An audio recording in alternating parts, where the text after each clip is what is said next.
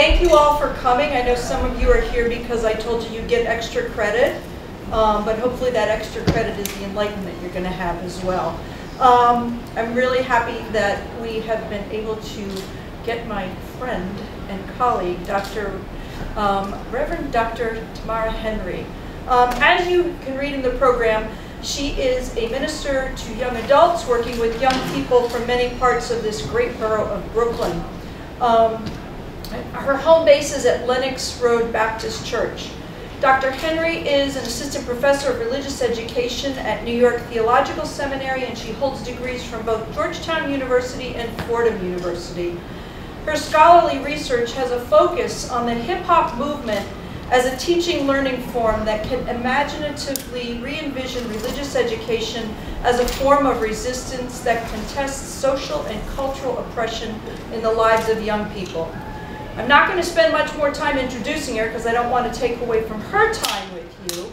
Um, but full disclosure also, we are colleagues and friends, but I say without any bias, this is a woman who is an incredible scholar and a passionate preacher. So trust me when I say you're in for a treat. Uh, please give a warm welcome to Dr. Henry. Good morning, everybody. Good morning.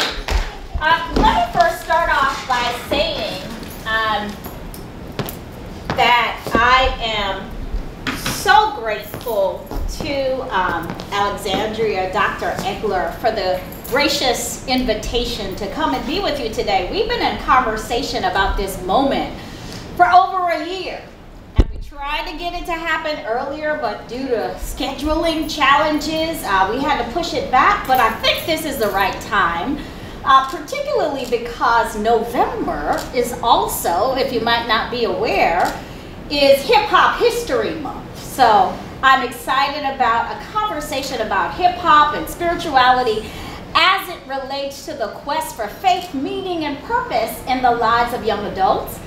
I also have to thank um, Tim Nodge for his excellent, y'all can clap these people a little bit. this kind of stuff just doesn't happen the excellent support and all of the preparation um, that has gone into making today possible. So thank you so much for your efforts. And I want to thank you for coming. I want to thank you for coming uh, because you didn't have to be here. I also want to give a special shout out uh, to some young adults and emerging adults who are also uh, students at St. Francis, but a part of my faith community. So shout out to Latia and shout out to Rochella. So as I said, uh, today we're going to be talking about hip hop spirituality, exploring the young adult quest for faith, meaning, and purpose. And my hope is that this is not just going to be a monologue. I'm trying to warm you up, but that uh, it will be a dialogue of sorts. Uh, we do have a period, I'm probably going to uh, talk for about 30 minutes, and perhaps there'll be some exchange even during that time. But at the end of this, we'll also have a period for Q&A and if you don't get to ask your question during that time, you will certainly, I'll stick around for those of you who can hang around so that we can engage a little bit. Before we get to hip hop and sort of the, the, the young adult quest for faith, meaning, and purpose, I want to talk a little bit about the work that I'm involved in. Uh, Dr. Egler highlighted that I am a professor at New York Theological Seminary and I am a professor of religious education. And from that site and in that role, I'm certainly concerned as a teacher and a researcher and scholar of thinking about this intersection between religious, spiritual life, and how we teach particularly through the lens and significance of, of all things, popular culture, and specifically popular cultures that are shaped and informed by the lives of young people and young adults who represent uh, marginalized constituencies. And one of those cultures, significant cultures for me, is hip hop culture.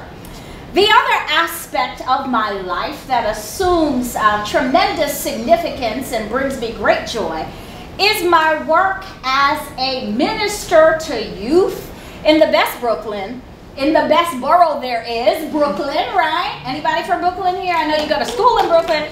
Come on, Brooklynites, you got to rep better than that. um, I have been, uh, for the last two decades, working with young people and young adults in that context. And from my dual uh, site as both a professor and somebody who's engaged in the work, not just in theory, but in practice on the ground in a faith community, I spend a lot of time hanging out with young people, thinking about young people and young adults, researching and talking about it. And one of the things I know about young adulthood, right, from my own journey in young adulthood and from my conversations and from the work of so many theorists, is that young adulthood is a time of transition, right? Would you agree? That you are between between and betwixt all these different realities. You're between the dependence that perhaps you have on your parents and wanting to be independent, whether, whether that means moving out on your own or becoming financially independent. But the time of transition, right, that developmental phase that people identify as young adulthood, is also a time that we know that you are engaging in big questions as it relates to your life, right? And the journey of your life. And certainly one of the areas, right, that you're thinking about is career and calling, right? You are thinking about sort of what vocation you might pursue in life. You have uh, elected a major, a course of study, and the hope is that somehow that's going to prepare you, right, for work in the real world post your graduation at St. Francis. And that's an important area to think about. The other area that you're thinking about, right, is this whole matrix of relationships. Is anybody thinking about relationships?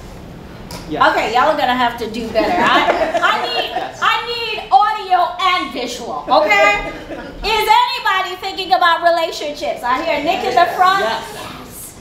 So this is a period where you are thinking about perhaps engaging in relationships, right? Thinking about, am I going to be married? And if so, perhaps who will I marry?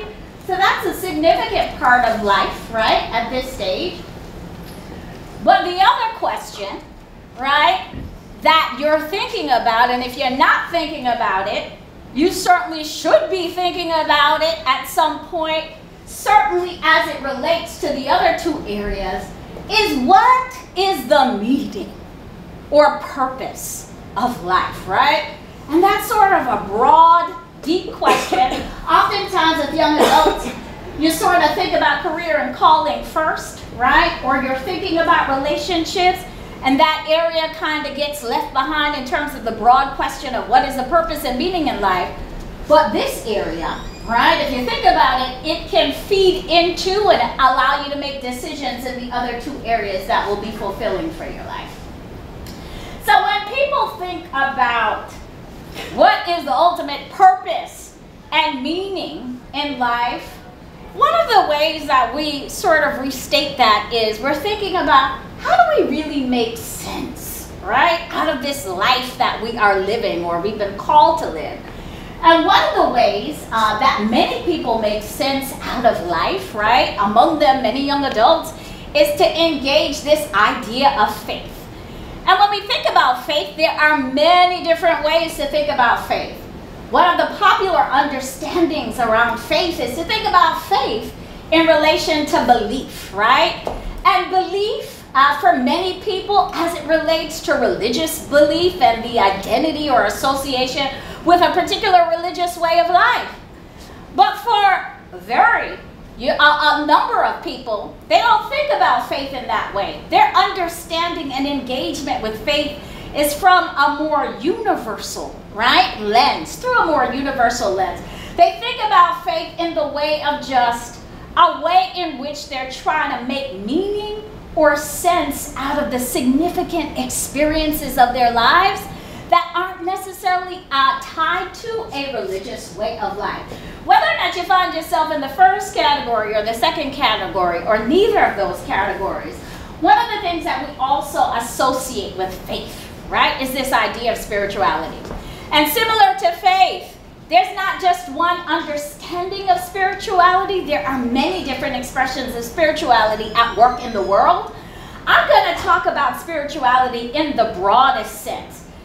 Spirituality in recognizing that when you think about life and you think about what you're engaging in in life, you think about it as related to something bigger than yourself, right?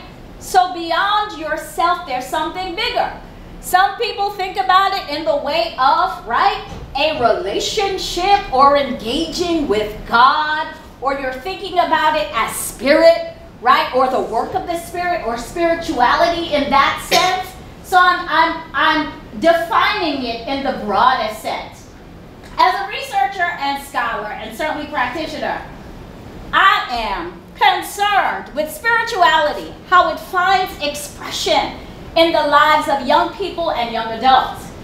And numerous studies, right, have directed lots of attention to what spirituality among young adults looks like in a United States context. And here we're just going to do a Snapchat. I mean, not a Snapchat, a snapshot. You see? You are so embedded. Even in my grammar, Snapchat. That's a problem. All right, come on in. So one feature, right, that these researchers, and not just researchers, but practitioners are observing is that there is waning, right? Decreased participation in religious institutions. I'm not going to put you on the spot, but I am going to put you on the spot. By a show of hands, how many of you are a part of a faith community? Wow, I'm impressed. That's the majority in the room. That is not based on what these studies are saying, right? The norm that we're seeing across the board, especially as it relates to young adults. The other thing, right, that how many of you identify with this statement? I'm spiritual and not religious. All right. Oh, okay, y'all deep. So, so fewer hands, right? So this is the other sort of feature that's emerging. And it's connected to the first as people, right, are becoming, and young adults are becoming less and less involved in faith communities and, and in institutional religious forms of life, uh, their language is also shifting. And this is not just specific to young adults, right? We saw this in other generations as well, as people are identifying themselves as spiritual and not religious. Uh, just a quick Q&A. What's the difference between the two? Right? And let me get it, don't be scared. Let me get it, let me get it from somebody who raised their hand. What's the difference in your mind about being uh, being spiritual versus being religious? Anybody? Take a stab at it. Now St. Francis, represent, right? Represent. What's the difference in your mind? Go ahead, what's your name? Dania. Dania. So, hi guys, I'm an alumni here and also an employee here. Awesome. My, the difference for me is the institutionalized version of going to church and just the, the, image that goes with how I was brought up. Right. To me, feels boxed in Mm. versus exploring your spirituality beyond that, knowing that you don't have to attend every Sunday and be this person and consider yourself spiritual. I don't know. So, so Dania Klecker from me. She came out of the box. So, so let me say, I think that's a part of it, right? She's hitting a part of it, and if you have a different perspective, I'm going to invite you to reflect on that. But it is connected to this first piece, right? And it's going to set it up for why hip hop is assuming such significance in the faith, spiritual, and religious lives of young adults. It's this sense that there's more than one way to engage religion, spirituality, faith, right? That one expression of that is our connection, right, to faith community. But it isn't the only expression, right? Another dimension of that, of the distinction between spiritual versus religious, is that for some people, right, there's a sense that being religious is being tied not just to a community, but represents a more public dimension of one's faith. Spirituality, as some define it, seems to be more private, mm-hmm. right? And it is tied to an autonomy, right? Around defining the terms of how one's faith and spirituality finds expression. Okay, so I want to acknowledge that. Uh, But here's what I'm interested in. So, for the last 20 years in East Flatbush, I have been a pastoral minister for young people and young adults. That's a lot of life, right? Spending so many times developing programs, innovative programs, and work with those young people. And yet, over the years, I have seen um, not just young people within the context of faith communities, but perhaps those who would never step into the door of a faith community also be interested, right, in these big questions that have to do with purpose, faith, and meaning, right? And my engagement with them, and usually the engagement, I'll tell you how I got to hip hop, is around music, movies, media, and popular culture that creates an intersection with reflection on spiritual and religious thoughts in ways that a lot of people and institutions are overlooking or minimizing, right? So I'm really interested in this third category. Some people, when they read the research as it relates to, oh my God, young people are leaving faith communities and they're choosing to be spiritual versus religious or not to identify themselves as being associated with any of those categories. Some people read that, and I, I use this, I put this mark in quotations, uh, to suggest that young adults, right, millennials, or Gen Zers, the group that comes after millennials, that they are just becoming increasingly secularized, right? That you are not interested, you're not engaged in matters of faith and spirituality. And I want to suggest that for researchers who are engaged on work in the ground, who read, research in alternate ways, that it's not so much that young people or young adults aren't participating, right, in religious or spiritual expression. They're just doing it in different ways, right? And here I describe it as they're participating in more marginal forms of spiritual and religious life. That's where hip hop comes in, all right? So I've titled this category Hip Hop and Spirituality Recreating Sacred Space. And I say that because hip hop and spirituality are not two things that people, right, usually associate as going together. Anybody, give me a sense. This is Hip Hop History Month. What is it about hip hop's connection with spirituality that might seem problematic for some people? Anybody? Yes, wait, come on. Come on. Yeah, yeah. All right, I'm gonna come back to you. Somebody else. Nick, give it to me. uh, for hip hop spirituality, I say that when I listen to a lot of stuff, it gives me a sense of realism and knowledge of how impactful the lyrics are and like the tone and the sense and how serious it can be. how serious it can be. So it engages you in a particular way around matters that are real, real life difficulties. But I'm asking, what's problematic for some people, not for all people, about this union between hip hop and spirituality? Yes, give me your name. Shifo? Yeah. Okay. Um, it's, it's like the, the combination of like secularism with, with I guess, uh, religious like motifs and all. Right. So hip hop has been perceived as a primarily secular, right, culture or way of life. So the notion that something secular could somehow be considered spiritual or sacred for some is confusing or problematic. Why else? Why else is this union? What's your name? Wait, I didn't hear the name. Eduardo? Eduardo. Yeah, and I think awesome. it's because the message in hip hop is not really connected to anything religious or spiritual. I mean, The message, wait, are you saying that is the case? I, I mean, yeah, I think so. Okay, so Eduardo is saying that the message in hip hop is not religious or spiritual. How many people agree with that? Okay? How many people disagree with that? How many people just don't know? All right, you're, you're on it. I love it. I love it.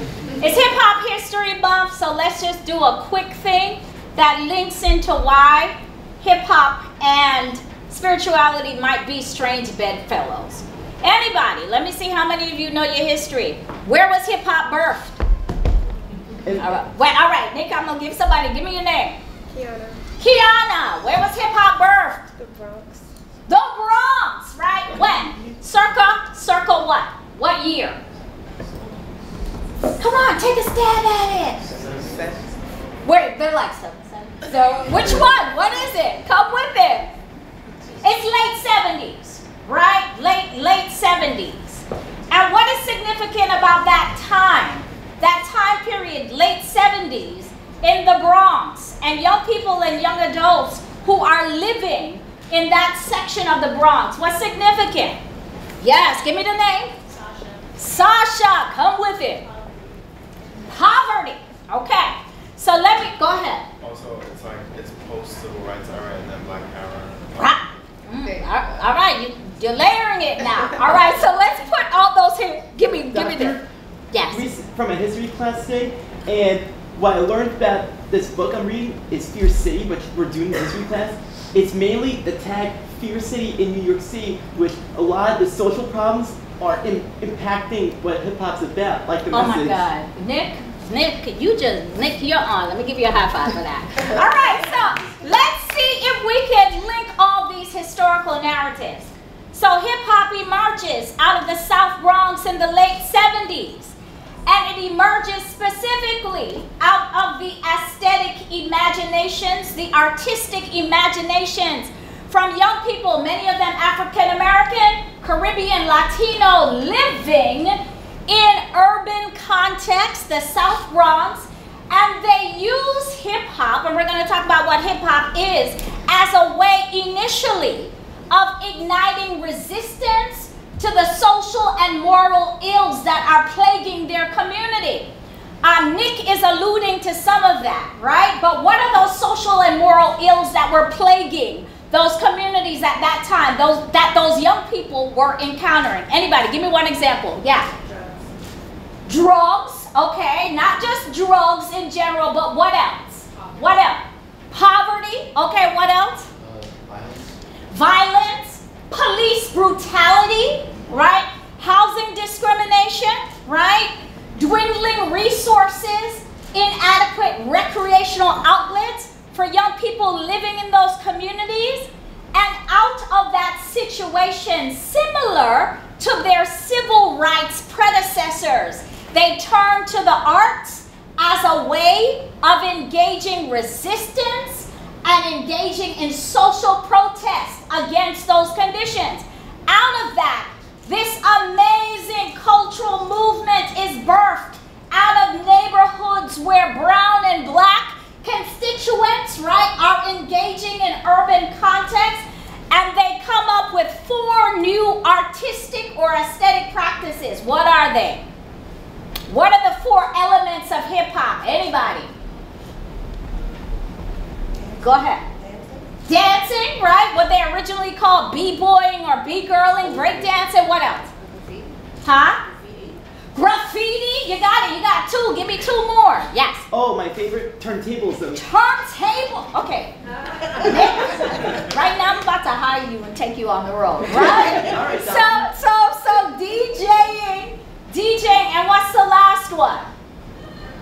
And the most popular that people associate with with hip hop. Um, I'm thinking of like different influences of music that all comes in. Not just the different, not just sampling or the different. What's a rap? MCing, right?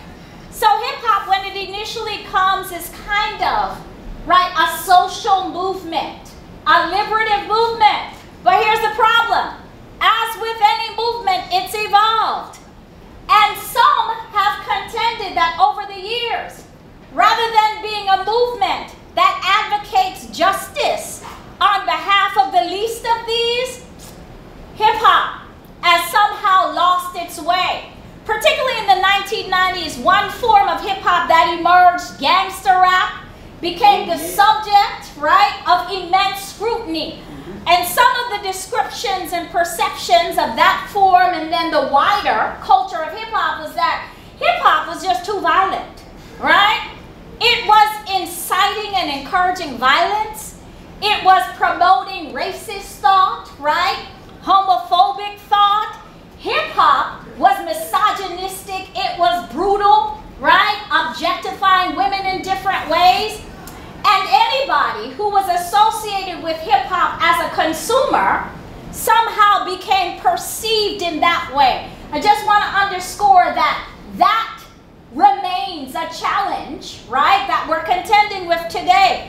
That when some person's view, right, for example, a young man who is in a gas station, who is listening to rap music, because of the perceptions associated with hip hop and being a consumer of hip hop, somehow, right, there is a notion that that young person is corruptive or pathological and as such, right, some people have used violence as a way, right, of carrying out those perceptions, and lives are lost, right? Lives are lost, but the root of it is a kind of flawed perception. I want to say, I'm not here to romanticize hip hop, right? There are certainly challenges and critiques that hip hop warrants, but I want you to know that there are many faces and sides of hip hop. Spirituality, religion, faith within the context of hip hop is not new. It's been there from the beginning. Right? So here's where we'll end. Who's the artist on the bottom left? Hmm. Now I know y'all are young. But come on, help me here. Who who said that? Oh my God, I love you. I love you. She saved you. Who's the artist on the right? The late Tupac. How many, how many, even though you guys were probably just being born, right, around this time, uh, how many of you engaged with Tupac? You appreciate Tupac, okay? Who's the artist top left? Lamar. You say that like it was a trick question. Kendrick. Okay, and who's the artist on the right? Kanye. Kanye's been in the news a lot lately. So what has been significant, what's been significant about hip hop is that it's an art form that emerges from young people, right, and is also engaged by young people. Each of these artists that I've put up has been engaged in, right, spiritual questing, religious thought, and faith within the context of hip hop. The challenge that some people have is that these four men, and I'm going to get to the females in a second, don't tightly fit into the boxes of who people perceive to be those that are interested in religion or spirituality. They're primarily viewed, right, as secular artists. One of the things that happens within the context of hip hop is the engagement in what we call God talk, right? So it's simply talk about God. One of the reasons why hip hop is so significant to young people or young adults, and we can have an honest conversation about this because I talk to my own young people and young adults about this. Oftentimes, when we talk about God, right, like when I was in undergrad, we had to take a, a class, Problem of God, right? Are they still making you do that? No. Okay, clearly not. Um, and we had to take, right, I went to a Catholic Jesuit institutions, different, right, courses about religion and, and theology, but I struggled. I struggled as I was in those classes because the way in which my professors and others talked about God seemed so divorced, right, and disconnected from my lived experience and my reality that for me, God didn't really have a connection, right, to my world and my life in that particular way. What is significant about God talk in hip hop is that these artists are engaging, right, in reflections around spiritual, religious questions, but they are doing it in ways that assume significance, right, and meaning for the lives of young adults, and particularly young adults that represent certain constituencies. So let's probe a little further. One of the ways that they do that, right, that God Talk shows up within the work of these artists is through its attention to particular themes, right? So everybody tells you that young adulthood, right, is a phase of life where there are no problems in life. That you just have it so easy, right? That life is supposed to be glorious as you're moving into your 20s and post life. But the reality is, for many young adults, right, young adulthood doesn't feel like a bowl of cherries, it doesn't feel carefree, right?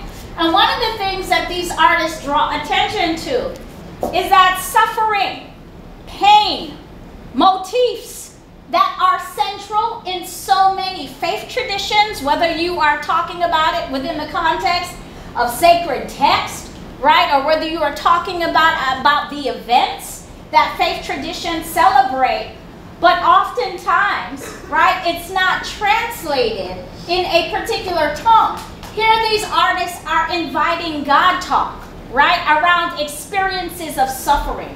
Of the four artists that I highlighted on the other page, who's one example of an artist who can cite a work, right? A musical text or piece that's associated with an exploration of suffering that invites conversation about God or invites conversation about religion or spirituality? Anybody? Yes, go ahead. Um, so, for Kanye, Jesus what? Right. Well, Kanye is the most obvious, right? And among the most controversial. Jesus walks, right? Where Kanye, who was primarily viewed as a secular artist, invites, right, a reflection on Jesus this person who is at the center, right, of a particular faith tradition. And then Kanye and Jay had an album, Church in the Wild, right? And we weren't sure kind of where Kanye was. And now Kanye, his most recent album is what? Jesus is King, right? So he's kind of taking people on this ride. Outside of Kanye, that's pretty obvious. Who else? Yes. Kendrick Lamar. Kendrick. And we're going to come back to Kendrick in a second. Give me, give me an example in Kendrick's work of the intersection between spirituality. All right. Okay, you got to give me an example from the text of all right. Come on. Come on. All right. Which is one of Kendrick's most popular tracks. If God got us, we going to be all right. Kendrick is inviting, right? God's assistance. He is offering a lament of sorts, a conversation, but saying to community, we're not just doing this by ourselves, right? God is with us. We are engaging. How many of you know his original? What was his original album? Yes! You're on! You're on! I feel like this is Jeopardy for 500. yes! It's like the Mad City on one of his tracks. What is the opening of one of Kendrick's songs? What does he do in one of those tracks? Yes, go ahead. A prayer. Woo! One expression of spirituality are the spiritual practices that we engage, right? Liturgy, scripture, reading sacred text, prayer. Here, you have a supposedly secular artist opening one of his best selling records with a prayer, right? With a prayer. So, hip hop is rife with spirituality. Give me an example out of Pac's work. Anybody, go ahead. Um, track Hail Mary. Hail Mary. Now, why is that significant? Why is Hail Mary significant? What do we typically associate Hail Mary with? Football what do we typically associate? We're talking about spirituality. Hail Mary. Come on. Rosary. Yes, rosary, right? But here, Pac. It has an album title, right? Hail Mary, a song, Hail Mary. So the intersection is there. It's not just in lyrical content. If you look at the album covers, right, there are religious symbols. We have many rap artists over the years who've been depicted as the figure of Christ, right? Which assumes that God shows up in our bodily forms, right? All right, so let's kind of move on. We're coming down, almost done. So somebody hit it. Spirituality is not just something, right, that we're engaging, but it also calls us to action and to activism. Where in hip hop do we see the intersection between spirituality and activism? Anybody? There was an example that was given earlier. Anybody? Come on, you, you, you're on a roll. Finish strong here. Spirituality and activism. There is an example already cited and given. Go ahead, Nick. Uh, activism to any kind, like in society. yeah. Oh, like like Grandmaster Flash and Furious Five. Uh, Okay. The message. I don't. I do not know what to do with Nick. Because Nick is a hip hop is historian right here.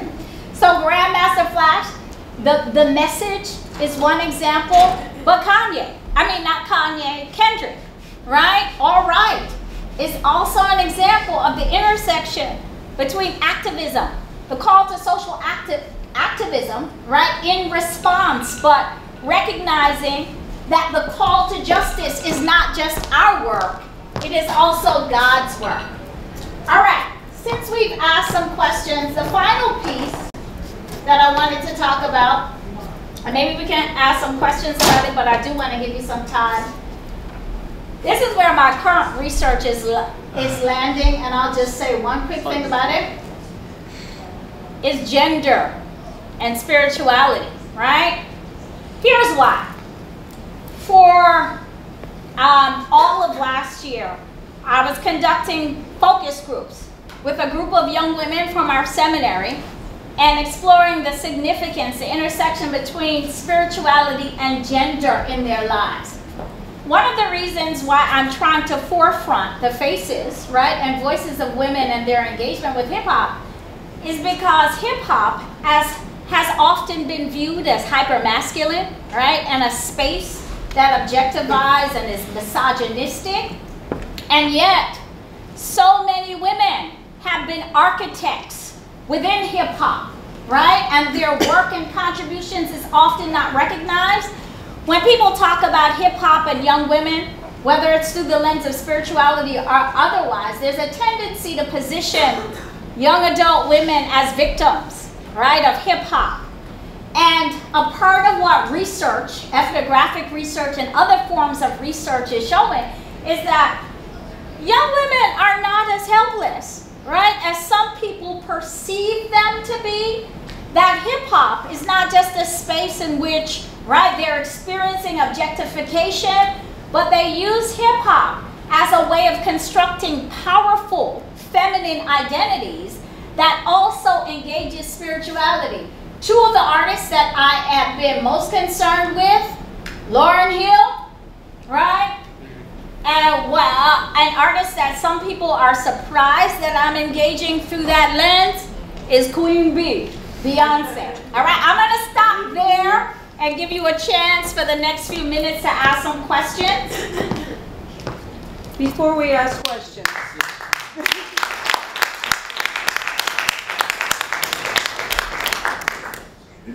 All right, so questions, anybody? Why- Questions? Why Queen Bee? Why Queen Bee? Or Beyonce, excuse me. Right. Why Beyonce? Beyonce has been uh, the woman that most recently I've been doing a lot of research and writing on. Beyonce has undergone. I was not always a Beyonce fan. Let me let me in the spirit of full disclosure. I got on board with Beyonce after Lemonade. I've always thought that she was amazingly talented, right? And I know Beyonce, like the BeyHive, is just crazy. But for me, I came to Beyonce late. I was on a flight uh, back from Europe when something came up on my news feed about lemonade. When I, I viewed lemonade, despite jet lag, about three times that night. I was so struck at the intersection, right, of spiritual and religious themes as they also engage themes of resistance, right? And, and the thing about lemonade that is also, I think, indicative of the way spirituality and religiosity operates within the context of hip hop is that it's not a monolith, right? Some people, right? I, I, Beyonce has identified herself as being Christian in the past, right? But what she engages is spiritual and religious discourse through the images she uses, right? Through her songs and music in a way that invites multiple spiritualities, right? To, to be highlighted and displayed. One expression of that is Christian spirituality, but other expressions of that are spiritualities that come out of African, right, sensibilities that are not Christian based. So she's an in, interesting point of intersection for me as a way in which interfaith dialogue, right, takes place. Hip hop engages multiple expressions of spirituality and the religious. Okay? There are Muslims who engage, right, in hip hop culture, who produce art that reflects that faith tradition. Jewish persons, right, who are engaging hip hop. Five percenters, right? Israelites who are engaging hip hop. It's not a monolith in that sense. Beyonce is one person for me that highlights spiritual and religious themes. I don't necessarily think that was indicative, right, or pronounced in her earliest work. I use Beyonce particularly as a womanist spiritual resource, which is a form of spirituality that is shaped and informed by the lives, narratives, and stories of black women. And I think Lemonade is a prime example of that. Okay? Anybody else? Anybody else? Yes, go ahead. Um, when you when you brought up the uh, gender and spirituality within hip hop, um, and you gave us these artists, I, one artist that came to mind was Rapsody, Mm, And there are a number of artists. and she has a song with Kendrick That's very very uh, reflecting. Mm. It's called, the song called Power. Mm, Um, it's it's like her and Kendrick both Mm. exchange verses. It's very. I love that. I love that. One of the projects that I'm engaged in is how, right, music soundtracks our theology, our faith practices and beliefs, right? So Beyonce's on that, Lauryn is all on that, and artists like Rapsody is on that, but there are a variety of different artists. Thank you for that. You had a Oh, I question? was gonna, um, I was gonna, I guess, further talk about about how like I feel like Beyonce's uh, music is very much like fluid in religion, um, Mm. especially like because like in Lemonade, the the poetry in Lemonade was written by a black Muslim woman. Mm. Um, I don't know if you, her name is Warsan Shire. Absolutely. You Yeah. know I know. So um, and also with with Lauryn Hill, um, Who is like my favorite artist? Right. There you go. Right, right. Come on, come on. Give. Lord her respect. Now I need her to get the mind together, but come on. there's, um also like I feel like growing up like as a Muslim like there was a lot in hip hop for me to Come on, to- a whole especially with lot. Lauryn, yeah, especially with Lauren, like I From Hodge to hip hop. Right, yeah, like it came. So I was born in '98, and um. Okay, you're Uneducated dating, was- you're like 98. Right, yeah, was, was, was um I guess came out that year, and Yes. like when I started. 99. as I sta- oh, was Come it on. 99? Okay. And what was So the name of that album? Yeah. Oh, I got it from So now. when I, when I, um, I think as I began to listen to it as I got older, like I didn't realize that there were so many like uh, references to Islam. Like I was listening Come to it when I was younger, and I like never made the connection. right. But it's yes. Absolutely. Islam, right? Um, Christian references, right? Yeah. And also Rastafarian, Yeah. right? Ideology, okay? And we know her connection to the Marley clan. Yeah. Okay, so anybody else? Anybody else? Before you release me, anybody else? Seeing. Go ahead, go ahead. What was it? Um, This has been fun. do you think um, in the next five to ten years we'll see more uh, like um, like what you were all like what you were talking about in general. Do Right. you think we'll see more like spirituality within hip hop um, and like more just like reflection and inviting the like the communication? My, my hope, um, it certainly um, would uh, promote job security for me. Um, but no, but but but let me say that that is um, a part of a question that I am engaging, certainly as a scholar and a researcher. But I'm interested to know in, in what you think. This is my my final word. Um, It's yours. Hip hop is hugely significant, right? Um, one of the things that I have strived to do both in the academy and um, on the ground in faith community is to bolster the significance of hip hop, right? So I create courses around hip hop. Um, I invite scholars to talk about the intersection with hip hop and um, spirituality. But it is not me as a professor serving as the expert.